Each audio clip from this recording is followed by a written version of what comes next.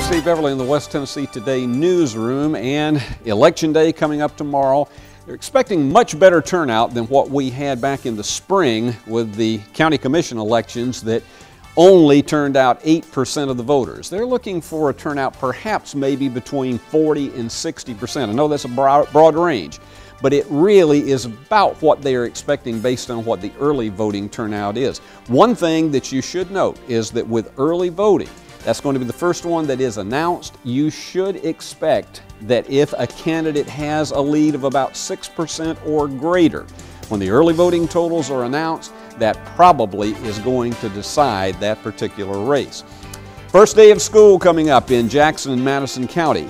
And for school superintendent Eric Jones, he says that it is going to be a year that he thinks will be a relatively smooth transition as it is his second as superintendent he is really looking to stay the course with where he has been with his first year plan that he is hoping is going to continue to pay off, but he says it is still going to be a slow process. If you go elsewhere on West Tennessee today, you're going to see some more of his comments about the opening of the school year.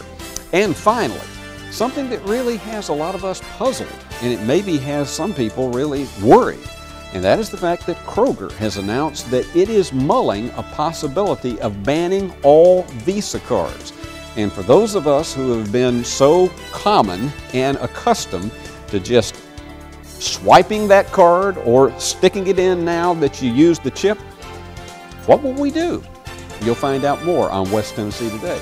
I'm Steve Beverly. Hope you'll join us for election coverage, Steve Bowers and myself, on eplustv6.com tomorrow night beginning at 7 o'clock.